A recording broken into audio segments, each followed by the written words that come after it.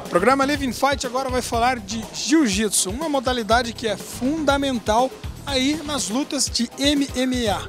Eu falo agora com o atleta Adriano Alves, que estará participando de um evento aí, um campeonato de Jiu-Jitsu em Porto Alegre. É isso, Adriano? Correto, eu venho me preparando já faz quatro meses para a sexta Copa Prime, onde eu vou ser avaliado para os professores de fora da, do elenco, né, os professores de, de Porto Alegre, para estar aumentando o meu currículo, né. Como está sendo os treinos aí para este campeonato?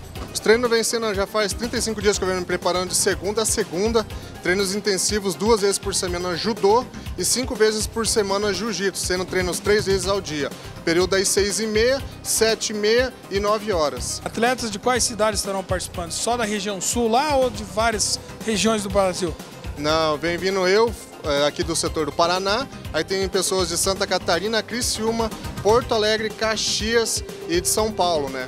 E fora essa preparação, estou falando também em janeiro, que é a seletiva para Abu Dhabi do Mundial, né? Então já venho preparando já faz 35 dias, só paro mesmo em fevereiro e aí só meio do ano para frente. Além da equipe que participa contigo aí dos treinos, tem bastante gente que colabora com o atleta Adriano, né?